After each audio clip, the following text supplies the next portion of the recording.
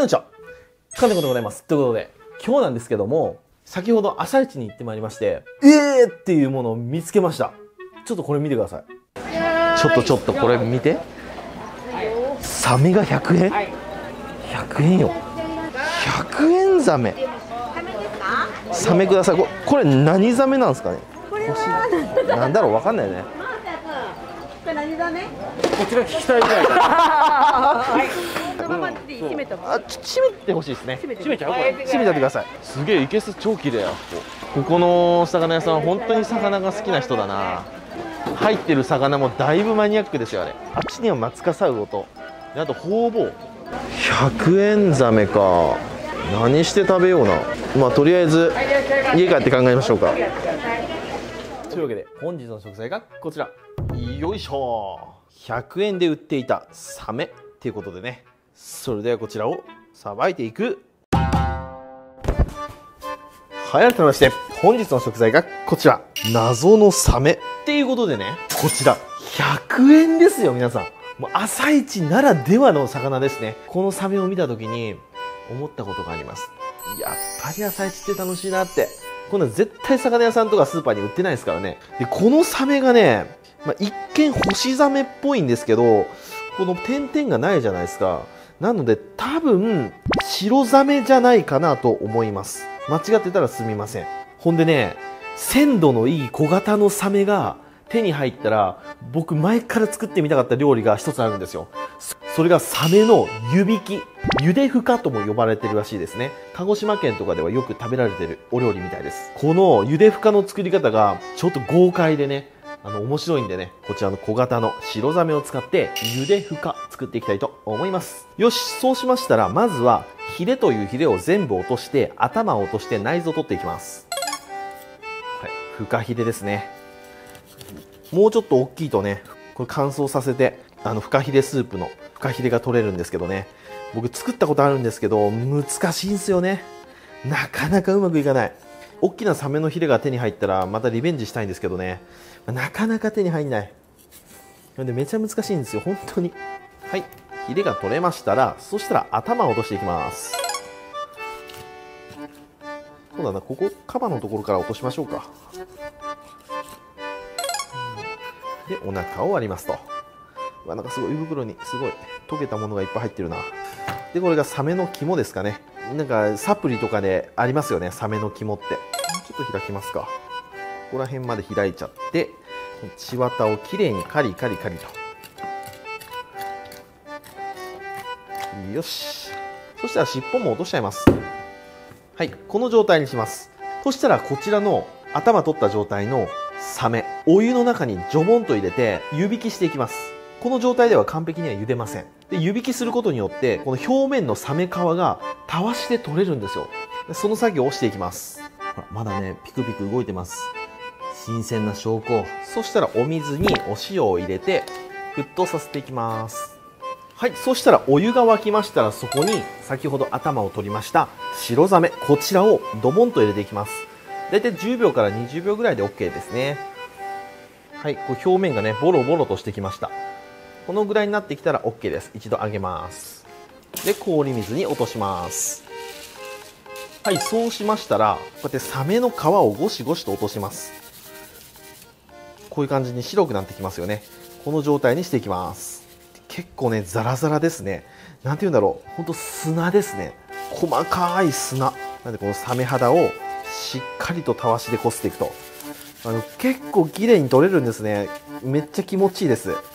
はいこんな感じに美白になりました。すごいツルツルですね。皮が取れたわけではないんですよね。皮ついたままです。皮ついたままなんですけどその皮の上についてるサメ肌だけが取れた状態。この状態にしていくと。そしたらこちらに軽く塩かけます。さーっとね。全体に塩をまぶしていくと。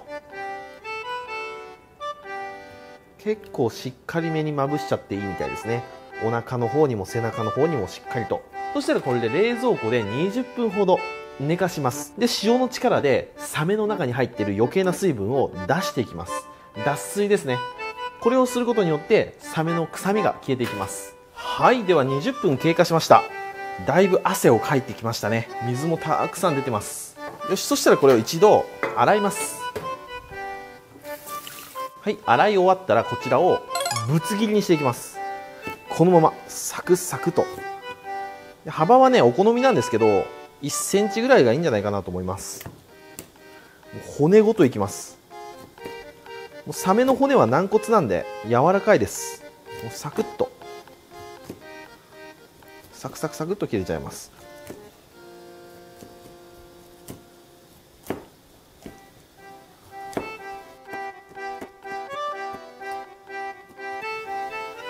はいこんな感じに切れました。そしたらこちらをざるに入れてこんな感じですね。で沸騰したお湯にお塩を入れてここで湯がいていきます。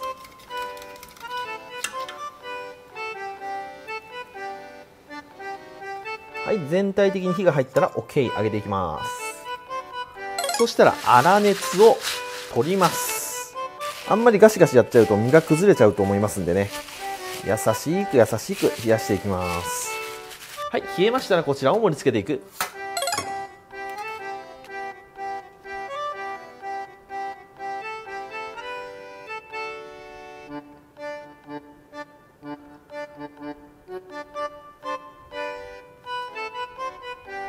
ほんでねウニが今日安かったんですよ。バフンウニ。これ3つで500円でした。すごくお値打ちだなと思って、まあ、鮮度はねそこまで抜群かといったらまあうんって感じなんですけどちょっと気になったんで開けてみましょう。はいではいろんな剥き方あると思うんですけど僕は包丁のこの角っちょでウニの裏側ここをどんどん叩きます。ガンガンガンガンガンと。こうやって潰していきます。はいこういう感じで潰れました。そしたら塩水を用意してそこにこのさっき叩いた部分を叩きつける。ボンボンボンボンボンボンと。そうするとこのくちばしと先ほど叩いた蓋。で内臓とかいろんなものが出てきます。であとはこっち側にこのウニの身が残ると。あーちょっとちっちゃいですね。ほんとウニはね割ってみなわからんのですよ。大きいからといって粒が大きいとは限らないんですよね。あでもこれはさっきより良さそうですよ。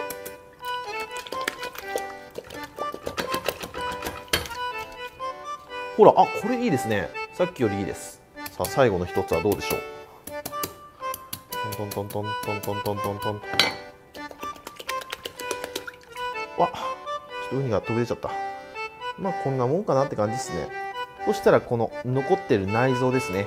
腸みたいなやつ。これをピンセットでできるだけ取っていきます。ウニが高い理由はこの作業がね大変なんですよ。すごく手間がかかるんです。はいこんな感じで黒い腸みたいなやつが取れましたら、まあ、あとはスプーンですくって取ってもいいしこうやって殻を割っていく？パキッと。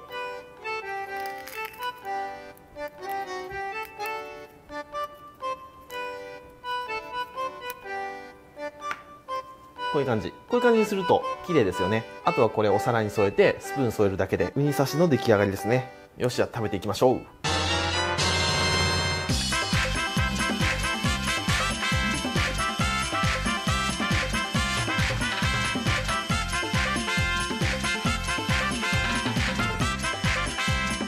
はいじゃあ完成いただきます。よっしゃ食べていこう。こちらが白ザメの茹で深でこちらがバフンウニですね。まあバフンウニはうまいでしょう。なのでバフンウニは後にして初の茹で深からいきましょうか。本当に初めて食べますこの料理。でこれはねからし味噌で食べると美味しいんですって。からし味噌をシュワーっとかけてちょっとすだちもかけようかな。ちょっと。骨ごと皮ごとぶつ切りですからね。どんな味なんでしょうか。いただきます。うん。うん。骨硬骨はちょっと出します。うん。味はめっちゃくちゃうまい。ふわふわ。味がしっかりある。うん。油があるっていう感じじゃないんですけどとにかくふわふわ。どんだけでもパクパクいけちゃうようなそんな味ですね。うん。美味しい。ただ骨は硬いわこれ食べれん骨。サメによって骨の硬さってあるのかな？干しザメだったらもっと柔らかかったのかなとか、うん、ちょっとわかんないですけどね。すごいとんでもなく硬い。ではお次はバフンウニさんですね。で塩水で洗ってありますんで塩味はついてます。でその塩味がついてるところにすだちですよ。わさび醤油もいいんですけどこの塩とすだちで素材の味を生かして食べるのもうまいですよね。これをスーッとすくってもう一個ぐらいすくっちゃいますか。こういう感じ。いただきます。おーうめえうめえ間違いないです。うん。でウニマニアの僕から言わせるとちょっと鮮度が悪い。うん少し匂いが出てきちゃってますね。値段が値段なんでね。まあこんなもんでしょうと。はいということで今日はこちらのバフンウニとゆで豚ときましたらお飲み物こちらでやっていきたいと思います。せーのでん銀色のやつ。ジョッキ感がありましたんで今日は久しぶりにジョッキ感でいきます。分かった。もこもこもこもこ。いただきます